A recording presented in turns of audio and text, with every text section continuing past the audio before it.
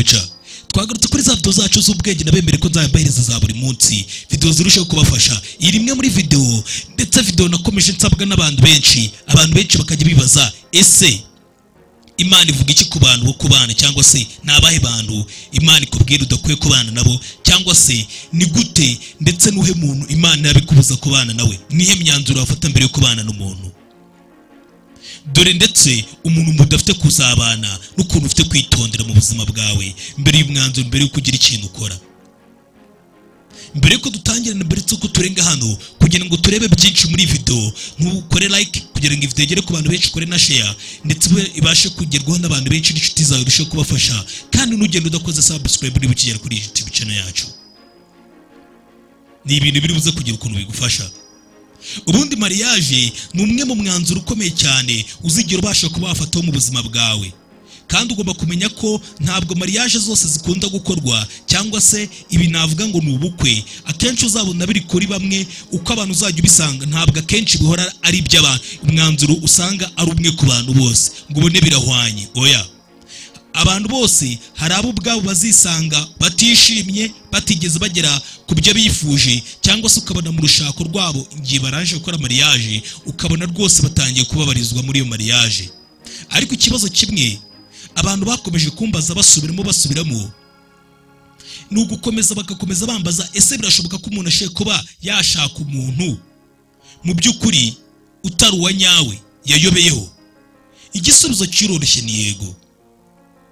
Ikibazo abantu benshi bakunda kuba bafata nabi mu buzima bwabo cyangwa se bakunda kwibeshyaho ni ukubera ko bumva ko buri muntu wese uri mariye. Akenshi aba ari mariye cyangwa se umuntu wese wahisemo gukora ubukwe n'umuntu akenshi uwo muntu imana iba yaramuhitiyemo uwo muntu bari kubana.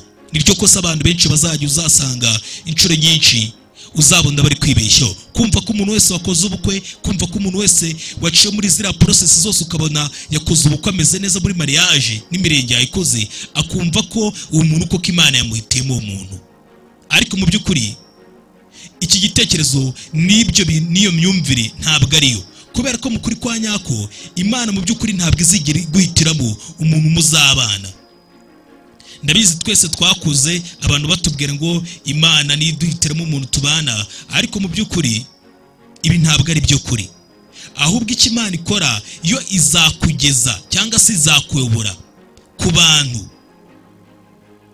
ariko ubwayo imana ntabwo izigera iguhitiramo umuntu wo kubana nawe. Kubera ko imana iramutse iguhitiyemo umuntu wo kubana nawe yaba iri kwica amategeko yayo yo kuba yaraduhaye icyo bita free will ubushake bwacu bwihariye. Imana ari icyo izakora izagenda ikuyobore ku muntu inabakwegereza abo bantu ndetse kugira ngo ubwawe wihitiremo ariko nujya ubona ko uri munsi ubonye ko imana iguhitiramo ukabona isa nk'aho iguhitiyemo hakagira ikintu kigenda nabi muri ya mariage yanyu buri munsi wajya uvuga ngo mana wamitiyemo nabi. Niyo mpamvu iyo turebye neza mu gitabo cy'itangiriro ibice bibiri umurongo wa kabiri aho bibiri tubwira neza ikatubwira bibiri itubwira ngo mu rubavu ni ho imana yaje gukura umugore imuzanira umugabo. Iyo ubisomye mu gitabo cy'itangiriro twanahasoma kugira ngo mwese murusheho kuhasobanukirwa. Mu gitabo cy'itangiriro ibice bibiri.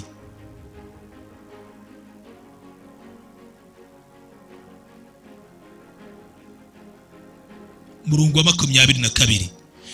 Itangiriro ibice bibiri umurongo wa makumyabiri na kabiri. Iravuga ngo urwo rubavu uwiteka imana yakuye yakuye muri uwo muntu. Iruhindura umugore imushyira imushyira uwo muntu.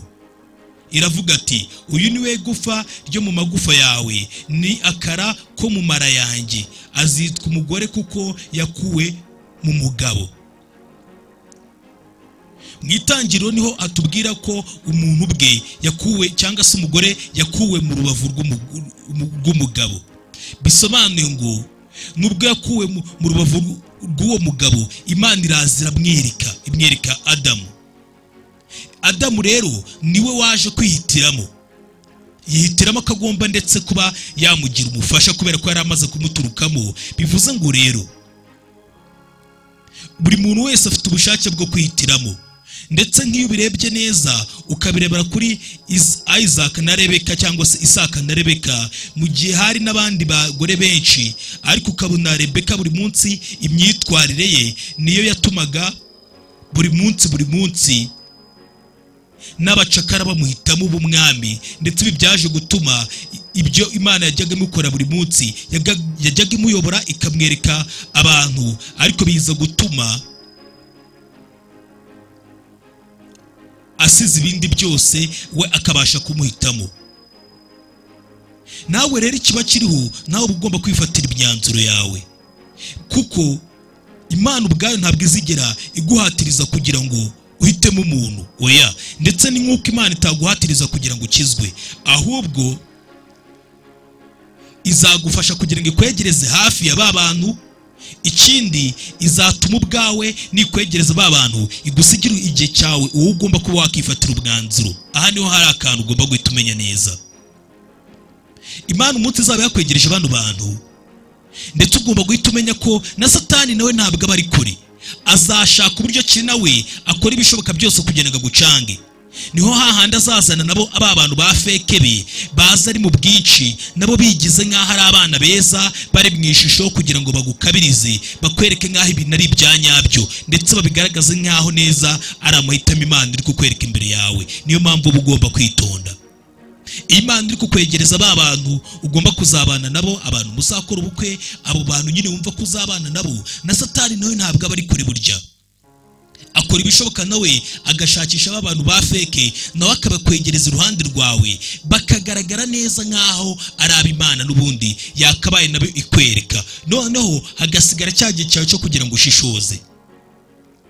Ariko ku bw'amahirwe make ni ho uzabona ko abantu benshi bakunda gukora ikosa ahangaha ukabona bahisemo abafasha babo bahisemo abagabo babo bakurikije ibyo ibyifuzo byabo kuruta uko bakabaye bareba korite cyangwa se qualities cyangwa se umutungo w'indani mu muntu ubumuntu buri mu muntu. Ibyo navuga ngo personality yandi utabonesha amaso. Ukabona abantu benshi bari kugendera ku byifuzo byabo kuruta uko bakabanje bakareba mu biri mu muntu. Reka ibi mbikubwire neza.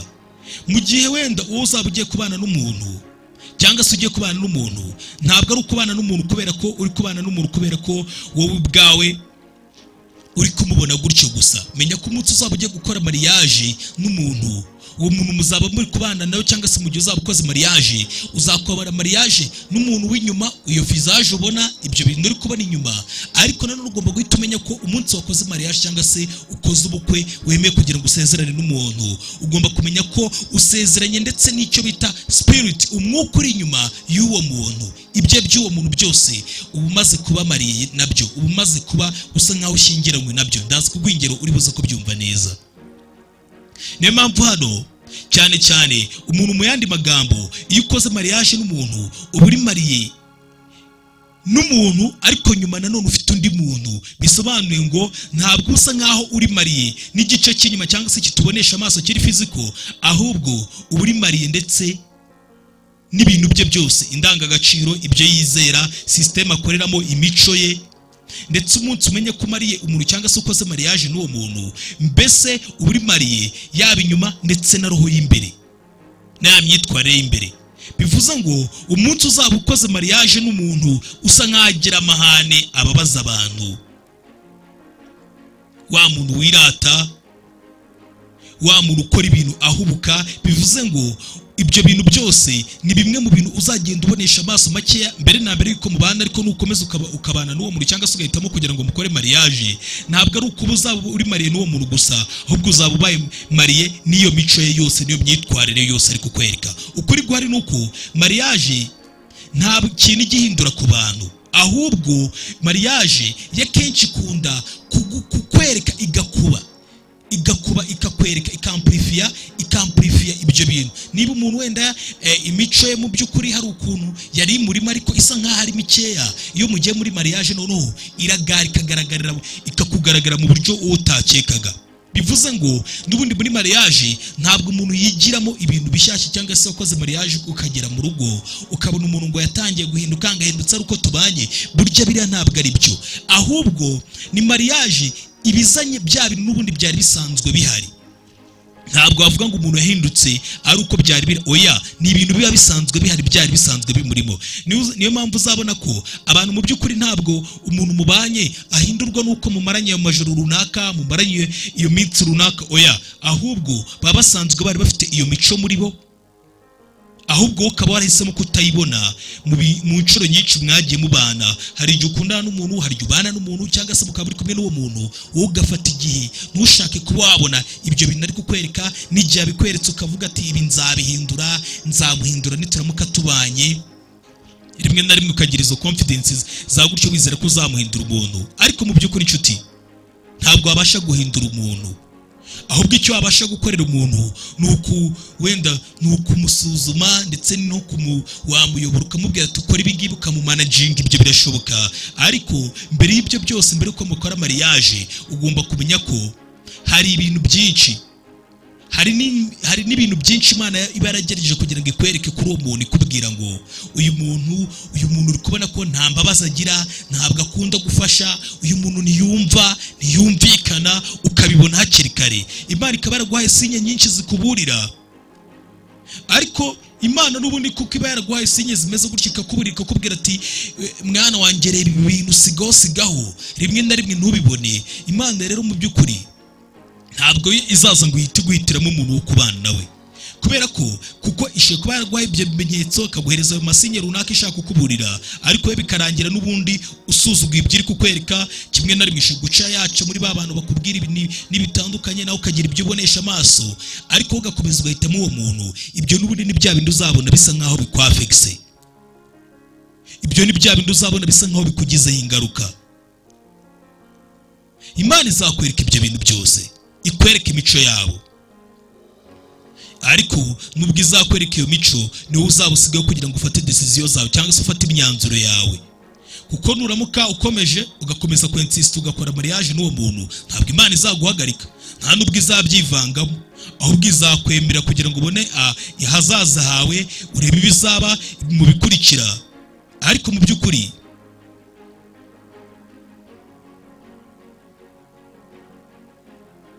imana mu by'ukuri iturema yaturemeye ibihe byiza.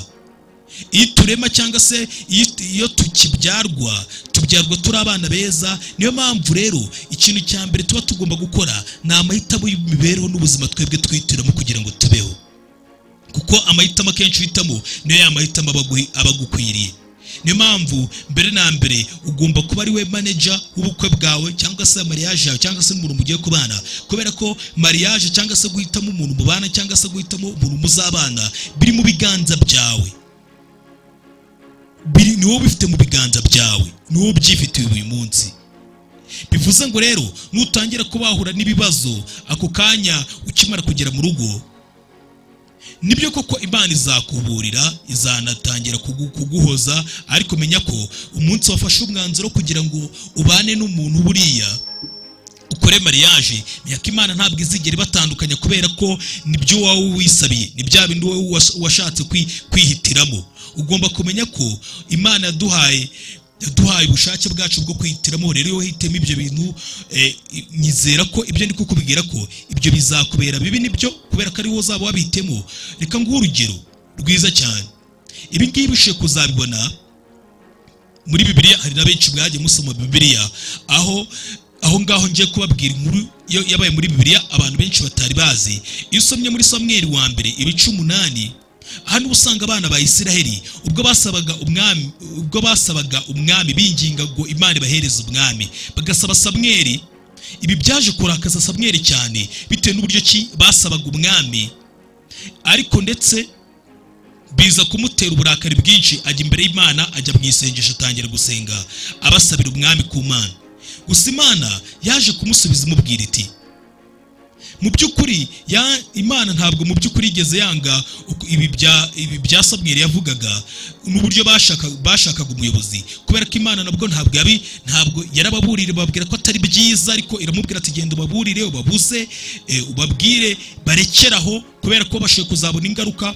Ariko kabone n'ubwo samweri yagarutse arababurira arababwira ati eh, musigeho ariko ntabwo bigeze babyumva. Bo bakomeje bifuza kugira ngo natwe tugire umwami nk'ayandi mahanga yose atuyobore. Twese dukeneye umuntu uzatuyobora. Niko nabo babishakaga.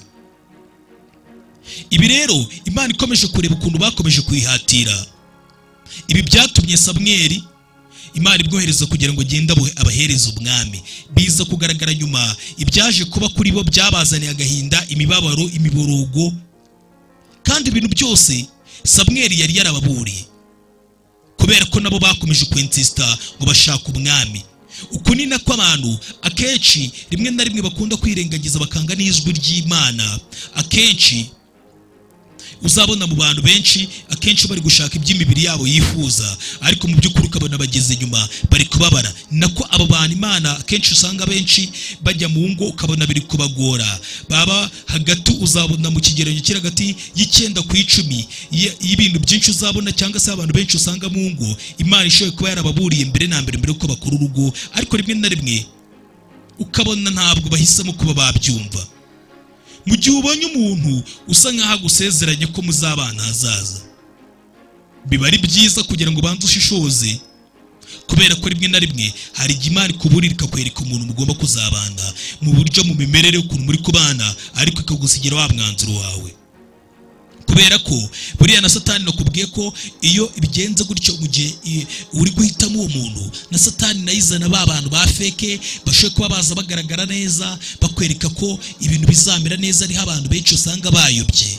Ukabona batangiye guhitamo bakurikije amarangamutima cyangwa se ibyo bari kubona bikazarangira mu by'ukuri bahuye n'aba bantu ba feke ba satani.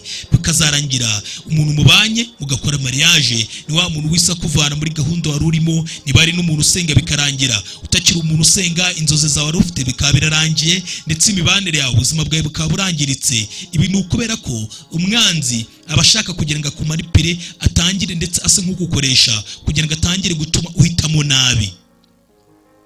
Imwe mu mpamvu imana ihereza abantu umwuka wera. Ni ukubera ko aha ariho ha hantu uzabasha gushishoza ugatandukanya ikibi n'icyiza ndetse nk'uko tubisanga mu gitabo cy'abaroma. Aha ni ibice umunani umurongo wa cumi na kane. Haratubwira ati abayobowe n'umwuka wera abo bazitwa ngo ni abana b'imana. Ariko we nuramuka nanone uyobowe n'umuriro nuramuka nuhitamo kugira ngo uyoborwe n'irari n'umubiri wawe. Aho ngaho bizaba uhisemo nabi kandi ikindi ibyo ni babandi n'ubundi. Hahandi uzaba wahisemo kugira ngo wirengagize ibimenyetso imana iri kukwereka. Imana itwereka ikoresheje ubuntu bwinshi ikatwereka imico y'umuntu.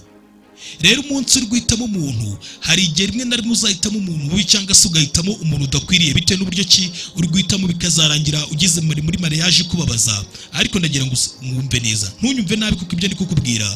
Ntabwo nkubwiye ko kabone n'ubwo washakwa mu rugo rubi cyangwa se ngo ukore mariage ugere mu rugo byange. Ntabwo mvuze ko wenda hatagira ibintu bikosorwa mariage ikagenda nabi. Cyangwa se mu gihe hatagira ibintu byakosorwa kugira ngo mariage yawe irusheho kugenda neza birashoboka. Hari n'igihe ushoboye kugenda ugakora mariage ni byo? Muri mariage yawe ugabona bitangiye kugenda nabi kubera ko wahisemo nabi ariko burya n'ibyo bintu birasanwa hari ukuntu bisanwa ukongera ukabona none imana yabisubiza ku murongo ariko ibyo ni kukubwira hano burya byaba byiza ukihangana kuruta uko wakora mariage wihuse ugakora ubukwe wihuse nyuma ukazababara cyangwa se nyuma ukazatinda uri gushaka umuti wo kugira ngo mariage yawe yongere isubire ku murongo.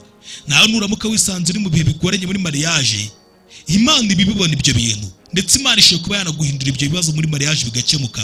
Ariko buri munsi ugomba kumenya ko kwirinda burya biruta kwivuza. Rero ntuzigere winjira mu bintu cyangwa se ngo winjire muri mariage nk'iyi ngo ushobore kuba wamara ubuzima bwawe usa nk'aho uri gusengera. Urisa nkaho uri gusengera kugira ngo imana ibashe kuba yakurinda yagukemura ibibazo ufite mu rugo yagukemura ibibazo ufite mu rushako rwawe. Ahubwo wewe wakabaye umunsi usa nkaho uri gusengera ndetse uri no gushimira imana ku byo yaguhaye muri mariage yaguhaye urugo rwiza. Kuruta uko wazamura ubuzima bwawe usa nkaho uri gusengera mariage uvuga ati imana ndagusabye nyimura ibibazo. Aho kugira ngo uzamure uwo mwanya uri gusengera ibyo bibazo ahubwo wakabaye uzamura uwo mwanya uri gushimira imana uri gutanga n'amashimwe ku byiza wageze muri mariage. Nibyo byiza kugira ngo ushishoze mbere yo kubana n'umuntu uruto ndetse urusheho kugira ngo ubanze urebe mu bitekerezo by'umuntu mu miterere y'umuntu. Nakubwiye bimwe mu bintu bishobora kuba watuma umuntu umubana cyangwa se ukareba imbuto yera. Akenshi ni byo imana itubwira na yo ituma itwereka abantu beza muri iyo sansi imbuto z'abantu bafite umwuka wera nibo bantu ukwiye kubana nabo. Icyo cyaba kimwe mu bintu ugomba kuzishimira kubera ko hari igihe rimwe na rimwe ubona abantu imana ikwifuza cyangwa se ishaka kugira ngo ubane nabo badafite isura we wifuza badafite amafaranga wifuza eh, rimwe na rimwe akaba ari na ba bantu bafite ukuntu bagaragara imana ihitamo. Ariko mu by'ukuri akaba ari wowe ari ba bantu wowe ubwawe ushobora kuba wabona ukabona ntunezerewe. Eh, hari igihe abantu imana ikwifuriza cyangwa se abantu imana ishaka kugira ngo ubane nabo uzamere neza urusheho kugubwa neza abantu imana iguhitiramo ari ba bantu badafite amasura wifuza. Ari ba bantu bagaragara wowe utabyifuza ari ba bantu wowe ushoboye kubiba uyu munsi uri gucaho rimwe na rimwe hari n'ababacaho bakabirengagiza. Ahubwo you still going to choose someone who will waste your life. Ukazakomeza guhitamo umuntu uzangiza ubuzima bwawe. Ako kantu ugomba kugashyiraho ubwenge. Kuko mu gihe uri guhitamo umufasha muzabana mu buzima bwawe. Mbere na mbere icyo nababwiraga mbere na mbere focus on the fruits they bear. Ugomba mbere na mbere kugira ngo urebe ku mbuto bera. Ntuzarebe ku myambaro bambara. Uzabona abakirisito benshi akenshi bakunda kwita ku bijyanye n'ukuntu abantu bagaragara cyane cyane ku kazi umuntu afite kuri tayito navuga ngo izina umuntu afite cyangwa se ukareba ukuntu eh, abo bantu eh, rimwe na rimwe hari n'abantu banganga afite ibiro bingana gutya cyangwa se arahorosa ameze gutya ukabona ari kwita ku bintu bidafite gahu- bidafite gahunda cyane kuri ibyo ngibyo. Cyane cyane ikintu cy'ingenzi ni imico pasonarite y'umuntu agaragaza cyangwa ukuntu umuntu agaragara muri we. Ibyo ni byo bintu by'ingenzi kugira ngo ubane n'uwo muntu. Kuko akenshi uzabona abantu benshi bakunda guhitamo bagendeye ku bi- ku bihagararo ku mirebere cyangwa se ku kuntu abantu basa cyangwa se ku, miterere y'abantu akenshi uzabona bakunda guhura n'agahinda gakomeye cyane. Mu gihe babashije kuba bakinjira muri mariage nk'iyi ngiyi ni ho hahandi uzatangira kubona umuntu uko wamubonaga mbere wagera mu rugo ukabona siko bimeze. Kubera ko imana nyine ntabwo izagushyiraho puresha kugira ngo ubane n'umuntu. Kandi urabizi neza ko bisaba ko bisaba kugira ngo bimere nk'ubwitange bw'igihe kinini mu gihe ushaka kugira ngo ubane n'umuntu. Rero fata igihe cyawe ahubwo uretse ko gutwarwa n'ayo maso urebesha ibyo bintu ubonesha ubonesha amaso buri munsi uri kubonera umuntu kure ngo urusheho kugenda nawe ugende kuri ibyo ahubwo utazayobera ku bantu nk'abo ngabo. Satani izana bafite visaje nziza bafite ukuntu bagaragara bafite titire y'akazi bafite ibyo bintu byinshi nyine bi- bisa nk'aho biri bukwatracting bigukurura kuruta uko uzajya ukururwa na personality nziza z'umuntu uzajya ubanza urebe personality nziza z'umuntu n'imico y'umuntu. Ibyo bintu byose ni byo bizatuma utabasha guhitamo nabi. Ibi ngibi naza kuguha urugero rwiza kuri yakobo. Urugero eh, yakobo yakobo urugero rwiza naguhereza ni kuri yakobo. Urugero guhitamo rasheli ndetse rasheli yahisemo yakobo igihe yahitagamo. Yahisemo yari umu- yari umukobwa mwiza agaragara neza ameze neza kabisa. Ariko mu by'ukuri ukareba ko reya nawe yari umukobwa imana yari yarahitiyemo yakobo. Ariko koko ubirebye neza iyo uri wisomye bibiri ukayisoma neza witonze uzabibona neza ko impamvu imana yari yarahisemo reya ibi tubisomye mu gitabo eh, turaza gusoma mu gitabo cy'itangiriro ibice mirongo itatu na kimwe kugeza ku murongo itangiriro umurongo wa mirongo itatu na rimwe noneho turaza gusoma ibice mirongo itatu na kimwe. Itangiriro mirongo itatu na rimwe ibice cumi n'icyenda. Haratubwira ati labani yari agiye gukemuza intama ze maze rasheli yiba ibishushanyo by'ibigirwamana bya se.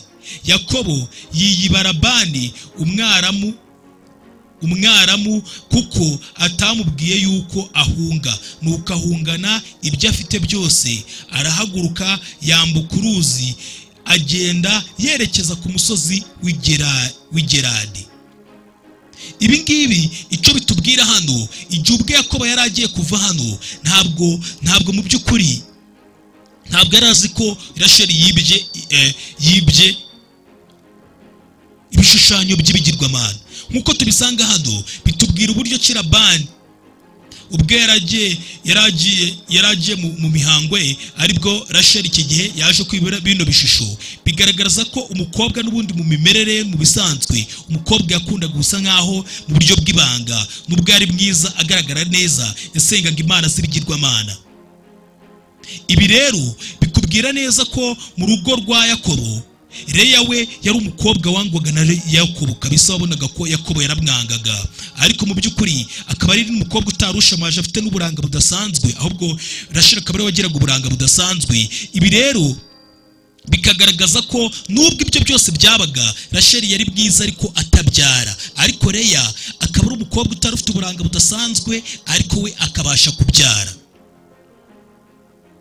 Ndetse uyu mukobwa leya akaba ari nawe waje kuvaho eh, urubyaro cyangwa se navuga ngo aba ariho yesu kirisito muri icyo gisokuru akaba ariho yesu kirisito yaje gukomoka kuri leya ariko mu by'ukuri iyo babaga bari kureba rasheli abantu benshi bari buyobere kuri rasheli batazi ko umukobwa ntabwo wibahaga n'imana isengaga ibigirwamana ikindi akaba ari umukobwa ufite uburanga ariko ntanabyare. Ariko rero utari ufite uburanga ndetse budasanzwe akaba yarabyaraga ndetse akaza no kuvaho igisokuruza yesu kirisito yaje kuvamo. Ibi ndetse na nyuma na byo byaje kurangira bigaragaza uburyo ki rasheli yaje gupfira mu myaka ikiri mutoya. Bigaragaza ndetse koreya mu by'ukuri imana impamvu yamuhisemo. Imana rero ibi bizi neza ibihe bizaba imbere yawe. Urebye n'igihe rasheli yapfiriye yapfiye yapfiriye ku myaka mito ariko leya we aza gukomeza. Buri mbanda rero ikora ibishoboka byose kugira ngo ikwereke ibintu mbere ikwereke ibintu uzahitamo. Niyo mpamvu mariage mariage ugomba gukora mbere na mbere mbere yo gukora mariage ugomba kumenya neza koko niba udahubutse niba udakoze ikosa utajyanywe n'irari ry'umubiri cyangwa utajyanywe n'amaso niba igushuka ibi ngibi byo byose bigushuka.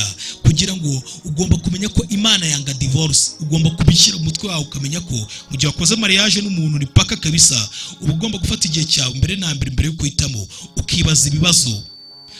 Bya nyabyo ugatangira ugasenga byaba na ngombwa ukiriza kugira ngo urebe niba imana ikwemerera kugira ngo koko ukareba niba imana ikwemerera kugira ngo ubane n'umuntu. Ni ikintu ugomba gufataho umwanzuro. Ugasaba ko imana igomba kuba yakuyobora mbere y'uko ukora ikosa nk'iryo cyangwa se ukaba wakora ikosa rishobora kuba ryakangiza ubuzima bwawe. Niba wizera mu mana ugasaba imana ko igomba kukuyobora mu byo ugiyemo byose n'imana na yo izaguha umuntu muzima. Kandi izaguha n'ubwenge iguhereze n'icyo bita discernment iguhereze gushishoza kugira ngo ujye urebera. Ujye urebera ibirenze ibyo tubonesha amaso ubashe kumenya icyanyacyo imico nyayo mu buntu. Kandi bizaba byiza uramutse ushatse umuntu mwiza kubera ko uramutse ushatse umuntu mubi ikindi nanone ugomba kumenya ko nanone haba hari n'icyizere yuko imana ishobora kuba yakuvana muri ibyo bintu ariko buryo ugomba kumenya ko kwi- kwirinda biruta kwivuza. Biba byiza nk'uko tubisanga mu gitabo cy'abaromani abaroma sorry mu gitabo cy'abaroma ibice umunani tugiye kuhasoma igi- igitabo cy'abaroma igitabo cy'abaroma abaroma ibice umunani umurongo wa makumyabiri n'umunani. Nk'uko abitubwira